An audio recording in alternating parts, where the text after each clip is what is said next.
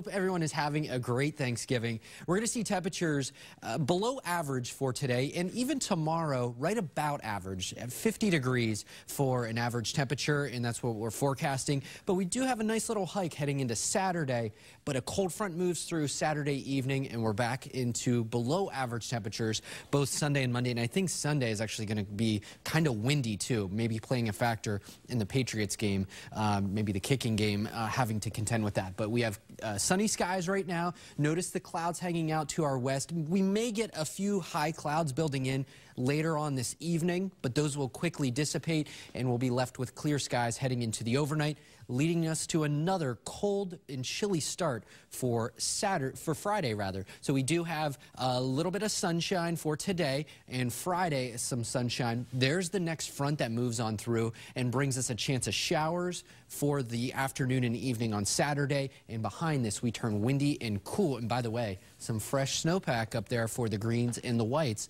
If you are a snow lover, that's certainly music to your ears. So we've upped the chances for some rain for Saturday and Sunday. 30% chance for Saturday, mainly in the evening, maybe hanging out a little bit heading into the very early morning hours of Sunday. But no weather worries for the next couple of days. We're currently sitting in the upper 30s and low 40s, 40 in Boston, Taunton, and Lawrence, 40 in Chatham, and 35 degrees in Worcester. On our way to the low 40s, a lot of sunshine, seasonably cool. Can't do much better than this when it comes to Thanksgiving. I think that overall, a lot of sunshine and no travel issues it's a great day overall.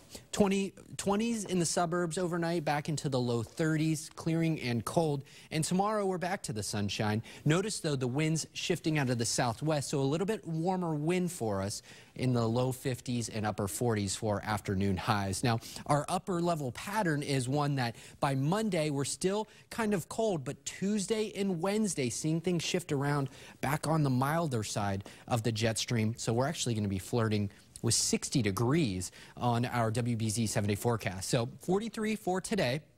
Already a couple degrees below that uh, for our current temperature, so we might reach the mid 40s by Friday. A lot of sunshine near 50 a nice little warm up for Saturday, and then the front moves on through, brings us a chance of some showers. Low 40s for Saturday, for Sunday and Monday, and it will turn a bit windy too for the day on Sunday. Notice that warm up though Tuesday and Wednesday, mid to upper 50s to near 60 degrees.